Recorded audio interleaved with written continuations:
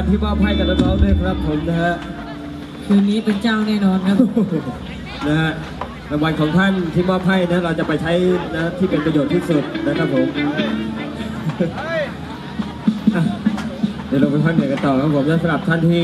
อยากจะร่วมสนานก็เรียนเชิญกันได้นะสำหรับ